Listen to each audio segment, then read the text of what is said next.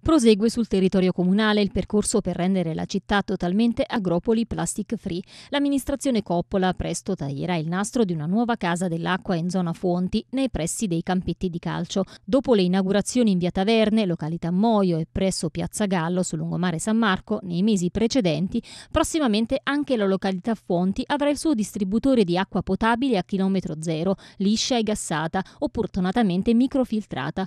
Un sistema pratico, economico e soprattutto amico dell'ambiente che sta riscuotendo ottimi consensi in città. Prosegue dunque l'iter da parte dell'amministrazione, guidata dal sindaco Adamo Coppola, per incentivare i cittadini al rispetto dell'ambiente, alla salvaguardia delle risorse naturali, il risparmio e alla riduzione dei rifiuti, nonché alla diffusione sul territorio della cultura di valorizzazione del patrimonio idrico e di contrasto allo spreco. Si procederà in futuro ad installare altri distributori di acqua potabile a chilometro zero, liscia e gassata, opportunamente microfiltrata, presso la località Madonna del Carmine, al porto turistico, nel centro storico e in località Mattine in via Malagenia nei pressi delle scuole.